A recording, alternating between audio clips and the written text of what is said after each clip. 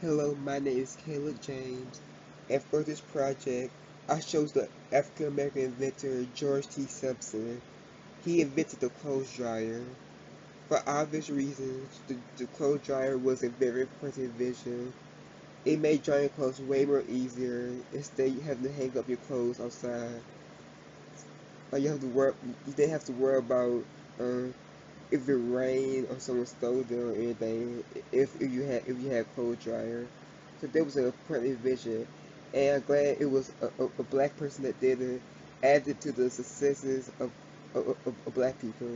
So, and plus I, I was I was able to do this on this project on him. So that's cool. So George T. Sampson was an African American inventor, best known for his early invention of the automatic clothes dryer in 1892. He also invented a sled propeller. Sampson came from Delta, Ohio. The clothes dryers were for, was a frame that suspended clothes above a stove so it dried more quickly. Prior to his invention, clothes dryers were being invented in England and France in the form of ventilators, which, which were essentially barrels holding them. The, the barrels would be turned by hand over a fire.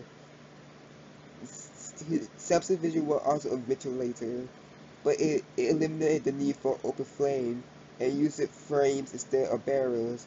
George T. Sampson is credited for paving the way to more modern clothes dryers. Electric clothes dryers did not appear around, until around 1915, and the Metro Company produced the first fully automated dryer in 1938. This, this shows how technology progressed over history.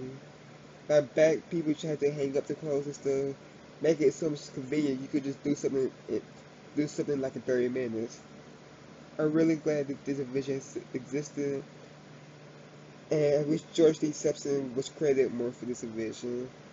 Prior, prior to me uh, doing this doing this research, I am no a black person invented the dryer.